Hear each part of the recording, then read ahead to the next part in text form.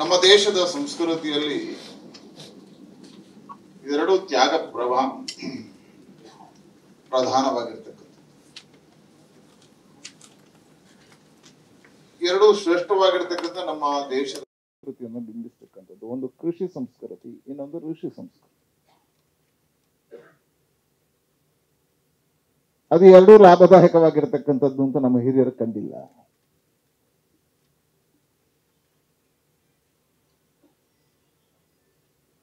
ಋಷಿ ಆಧ್ಯಾತ್ಮದ ಜೊತೆಗೆ ತನ್ನ ಜೀವನವನ್ನ, ಯೌವನವನ್ನ ಸವಿಸಿ ಧರ್ಮದ ಚಿಂತನೆಗಳನ್ನ ಸಮಾಜಕ್ಕೆ ಕೊಟ್ರೆ, ದೇವರನ್ನ ಕಾಣುವ ಭಾಗ್ಯವನ್ನು ಒದಗಿಸಿಕೊಟ್ರೆ, ಕೃಷಿಕ ಭೂತಾಯಿಯನ್ನು ಆರಾಧನೆ ಮಾಡುವುದರ ಮುಖಾಂತರ ಸಮಾಜದ ನೆಮ್ಮದಿಗೆ, ಅವನ ಬದುಕಿಗೆ, ಅವನ ಹೊಟ್ಟೆ ಹಸಿವನ್ನು ನೀಗಿಸಿ ತನ್ನದೆಲ್ಲವ ಯೌವನ ಜೀವನವನ್ನ ಸಮರ್ಪಣೆ ಮಾಡಿ ಸಮಾಜವನ್ನ ಬದುಕಿಸುವವ ರೈತ. ಹಾಗಾಗಿ ಅವನನ್ನ ಕೃಷಿ ಋಷಿ ಅಂತ ಕರಿತೀವಿ.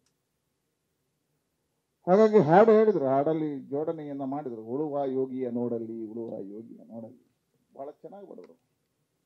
ಒಬ್ಬ ರೈತನ ಬದುಕೇನು, ರೈತನ ಗುರಿ ಏನು ರೈತನ ದೃಷ್ಟಿ ಏನು ಅನ್ನುವಂಥದ್ದನ್ನ ಆ ಹಾಡಿನಲ್ಲಿ ಬಹಳ ಸುಂದರವಾಗಿ ಮೂಡಿ ಬಂದಿದೆ. ಅದಕ್ಕೆ ನಾನು ಸನ್ಮಾನ್ಯ ಯಡಿಯೂರಪ್ಪರಿಗೆ ಅಭಿನಂದನೆ ಸಲ್ಲಿಸ್ತೇನೆ. ಕರ್ನಾಟಕ ರಾಜ್ಯದಲ್ಲಿ ನಾಡಗೀತೆ ಎಷ್ಟು ಪವಿತ್ರವೋ ಅಷ್ಟೇ ರೈತ ಗೀತೆಯನ್ನು ಪವಿತ್ರವಾಗಿ ಮಾಡುವಂತ ಘೋಷಣೆಯನ್ನು ಮಾಡಿದರು.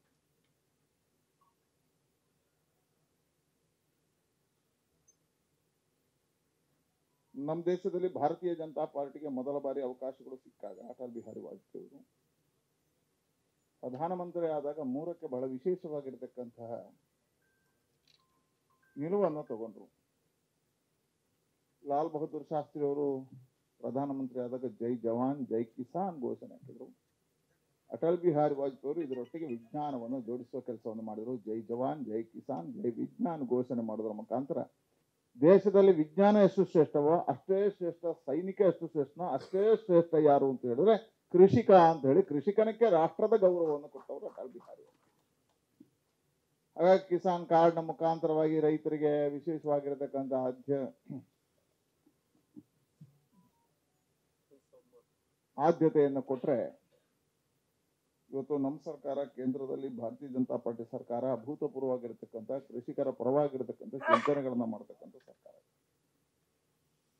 ದೇಶದಲ್ಲಿ ರೈತ ಬೆನ್ನೆಲುಬು ಅಂತ ಬಹಳ ವರ್ಷಗಳ ಕಾಲ ಹೇಳ್ಕೊಂಡು ಬಂದ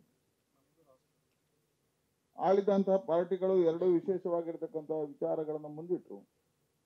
ಲಾಲ್ ಬಹದ್ದೂರ್ ಶಾಸ್ತ್ರಿ ನಂತರ ಜೈ ಜ ಜೈ ಕಿಸಾನ್ ಜೈ ಕಿಸಾನ್ ಜೈ ಕಿಸಾನ್ ಹೇಳಿದ್ರು. ಆಡಳಿತ ಮಾಡಿರ್ತಕ್ಕಂಥ ಎಲ್ಲ ಪಾರ್ಟಿ ಗರೀಬಿ ಹಠಾವು ಹೇಳಿದ್ರು.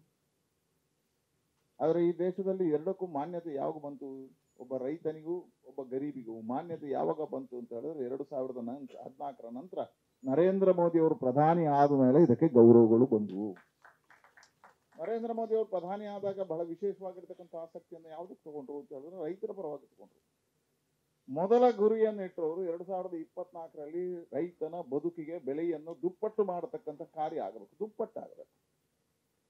ಅವನ ಬದುಕು ಹಸನ ಆಗಬೇಕು ಹಾಗಾಗಿ ಪ್ರತಿಯೊಬ್ಬ ರೈತನು ಬದುಕಬೇಕು ಅಂತ ಆದ್ರೆ ಅವನಿಗೆ ಆರ್ಥಿಕವಾಗಿರ್ತಕ್ಕಂಥ ಸುಸ್ಥೀಕರಣ ಬೇಕು. ಆರ್ಥಿಕವಾಗಿರ್ತಕ್ಕಂಥ ಸುದೃಢತೆ ಆದಾಗ ರೈತ ರೈತನಾಗಿ ಉಳಿತಾನೆ ಅನ್ನತಕ್ಕಂಥ ಚಿಂತನೆಯನ್ನ ಪ್ರಧಾನಮಂತ್ರಿಗಳು ಮನಗಂಟರು. ಅವರು ಮುಖ್ಯಮಂತ್ರಿ ಆಗಿದ್ದಾಗಲೂ ಬಹಳ ಆದ್ಯತೆ ಯಾವುದಕ್ಕೆ ಕೊಟ್ಟರು ಹೇಳಿದ್ರೆ ಗುಜರಾತ್ನಲ್ಲಿ ಪರಿವರ್ತನೆ ಆಗಿರುವಂಥದ್ದು ರೈತರ ನೀರಾವರಿ ಮುಖಾಂತರ ಇರಿಗೇಷನ್ ನೀರಿನ ಚೆನ್ನಾಗಿ ಮಾಡಿರೋದ್ರಿಂದ ಅವರು ಪ್ರಾರಂಭ ಆಯಿತು. ಹಾಗಾಗಿ ರೈತರ ಎಲ್ಲ ಸಮಸ್ಯೆಗಳನ್ನು ಅರಿತವರೇ ಪ್ರಧಾನಮಂತ್ರಿ ಆಗಿರೋದ್ರಿಂದ ಕೇವಲ ಆರ್ಥಿಕ ತಜ್ಞನೇ ಪ್ರಧಾನಮಂತ್ರಿ ಆಗ್ತಿದ್ರೆ ಕೇವಲ ಆರ್ಥಿಕದ ಬಗ್ಗೆ ಚಿಂತನೆಗಳಾಗ್ತಿತ್ತು. ನಮ್ಮ ಪ್ರಧಾನಮಂತ್ರಿಗಳು ದೇಶದ ಎಲ್ಲ ಸಮಸ್ಯೆಗಳನ್ನ, ಎಲ್ಲ ಭಾಗಗಳ ಪ್ರವಾಸವನ್ನ ಇಡೀ ದೇಶದಲ್ಲಿ ಸಂಚಾರ ಮಾಡಿದ್ರ ಅನುಭವದ ಹಿಂದೆ ಈ ದೇಶಕ್ಕೆ ರೈತನ ಕೊಡುಗೆ ಏನು ಅಂತ ಹೇಳುವಂಥದ್ದು ಅಧ್ಯಯನ ಅವ್ರ ಜೀವನದಲ್ಲೇ ಮಾಡಿರೋದ್ರಿಂದ, ಯೌವನದಲ್ಲೇ ಮಾಡಿರೋದ್ರಿಂದ ರೈತನಿಗೆ ಮೊದಲ ಆದ್ಯತೆ ಕೊಟ್ಟರು. ನನಗೆ ಅನಿಸೋದು ಸ್ವಾತಂತ್ರ್ಯ ನಂತರದ ದಿನಗಳಲ್ಲಿ ಮೀನುಗಾರಿಕೆ ಕೃಷಿ ಇಲಾಖೆಯಲ್ಲಿತ್ತು. ಮೀನುಗಾರಿಕೆಯನ್ನು ಪ್ರತ್ಯೇಕ ಮಾಡಿ ಅದನ್ನು ಒಂದು ಕೃಷಿ ಶ್ರೇಷ್ಠತೆಗೆ ಇಳಿಸಿದವರು ನರೇಂದ್ರ ಮೋದಿ ಅವರು ಹಾಗಾಗಿ ರೈತರಿಗೆ ಸಿಗತಕ್ಕಂಥ ಬಜೆಟ್ ಮಣ್ಣಿ, ಮೀನುಗಾರಿಕೆಗೆ ಹೋಗಬಾರ್ದು. ಮೀನುಗಾರಿಕೆಗೆ ವಿಶೇಷವಾಗಿರ್ತಕ್ಕಂಥ ಆದ್ಯತೆಗಳು ಕೊಡಬೇಕು ಅದರಲ್ಲಿ ಹೀಗೆ ರೈತರ ಬದುಕಿಗೆ ಹಸನು ಮಾಡತಕ್ಕಂಥ ಯೋಜನೆಗಳನ್ನು ಸುಂದರವಾಗಿ ಪರಿಕಲ್ಪನೆ